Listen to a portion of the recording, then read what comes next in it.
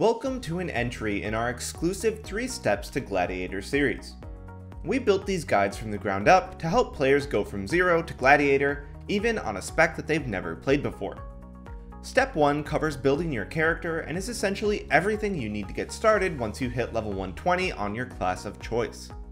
Step 2 builds upon that by preparing you for two of the most important skills to have in Arena.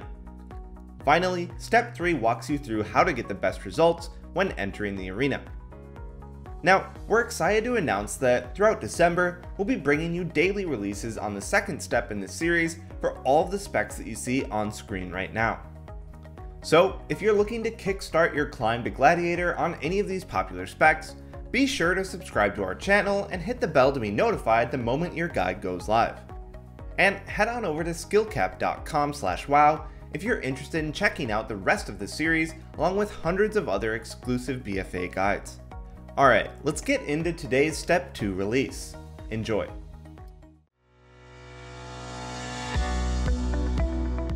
Hey guys, Zot here, and welcome to Step 2 in our 3 Steps to Gladiator for Destruction Warlock. Before we go any further, if you've missed Step 1, be sure to go back and watch that first. If you've already seen it, then you're in the right place. Step 2 is all about preparing for PvP, including how you should be min-maxing your damage, and then we'll be covering how to make the most out of the crowd control you have at your disposal. So let's get started. Dealing damage as destruction is honestly one of the hardest things to do, and has a lot of factors involved. As you probably know, a huge percentage of your damage is coming from Chaos Bolt.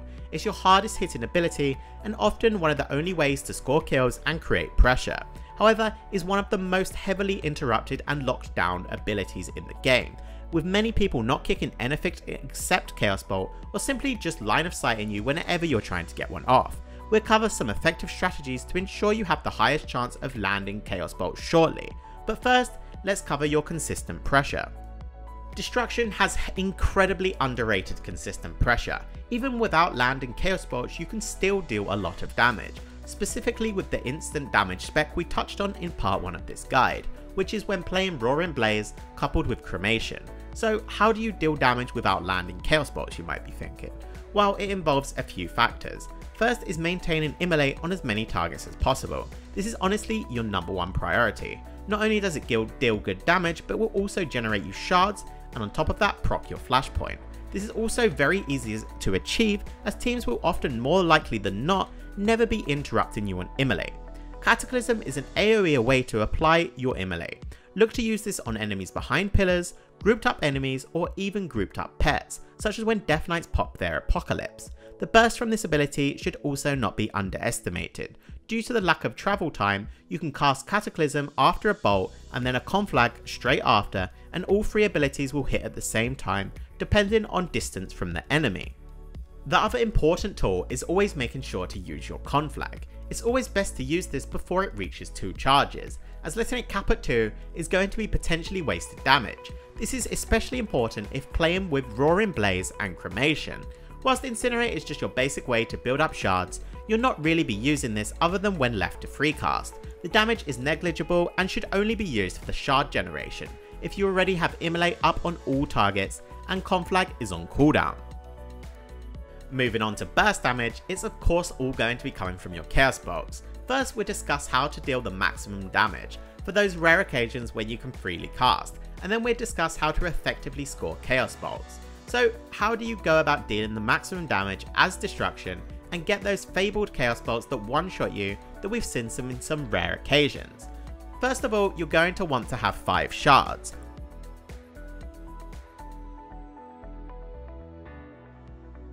After that, you're going to want to cast a Rain of Fire to instantly spend 3 shards and build up Grimoire of Supremacy stats. After that, you're going to want to build up shards with Incinerate or Conflag. Bear in mind, if you have Havoc on a target, you will gain double the shards. Then spend shards on Chaos Bolts if you can freecast or Rain of Fire if you can't. Once you reach 10 stacks or more, pop your Dark Soul instability and proceed to try and set up a Chaos Bolt. Now this Chaos Bolt, if it lands, will one-shot somebody. Also bear in mind, you always want to have stacks of Backdraft before you cast a Chaos Bolt.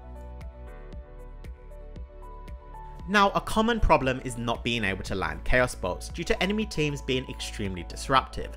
Well, there is a few things you can do to counter this. First is baiting kicks on different schools of magic.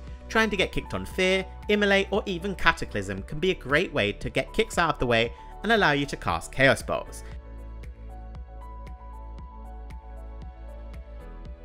Second is abusing fear. This is honestly the most important factor in landing Chaos Bolts. If they kick the fear, you can cast. If they don't, they're crowd controlled by the fear, and then you can land a bolt. So damned if they do, damned if they don't. Utilizing your crowd control is another great way of ensuring bolts land. You can land bolts off Infernal Stuns, Shadow Fury, and even your Mortal Coil. Combine any of these crowd controls into a Chaos Bolt can be a surefire way of effectively landing the bolt. And then you've got the simplest way, and that's just faking interrupts. If you know the team only wants to kick Chaos Bolts, then try to fake with them. Once you have Flashpoint, Backdraft, and also Reverse Entropy, Chaos Bolts are a surprisingly fast cast time.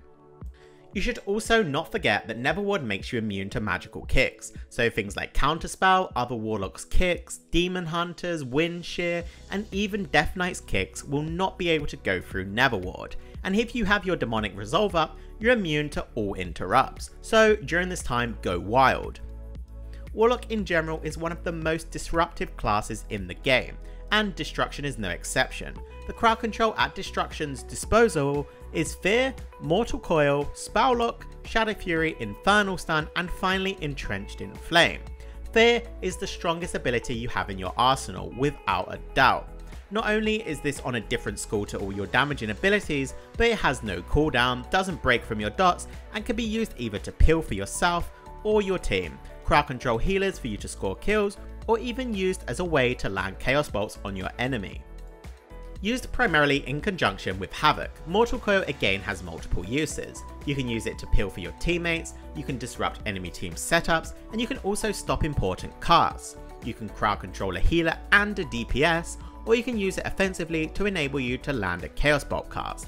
Just your standard interrupt. Use it either offensively or defensively once more. When you have pressure, you can use it on healers to deny heals and enable you to score kills. You can use it on crowd control directed on your healer to survive setups, or you can even use it on crowd control directed on yourself to get more damage out. Shadow Fury is a casted 3 second AoE stun, used primarily to ensure you land Chaos Bolt casts due to Shadow Fury being on the Shadow school, as the name suggests.